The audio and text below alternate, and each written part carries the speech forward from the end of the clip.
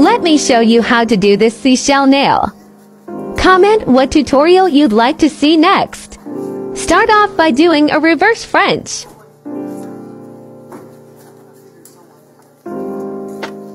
I'm using broken shell pieces and gold leaf. Add a layer of clear gel.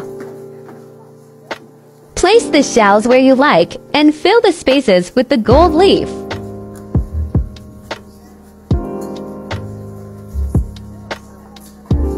Encapsulate the design with clear gel.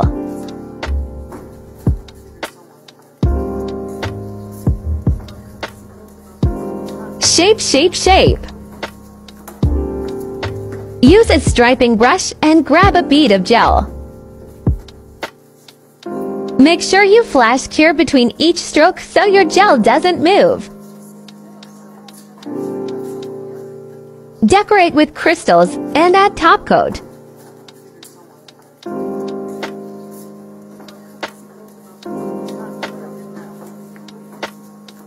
And you're done!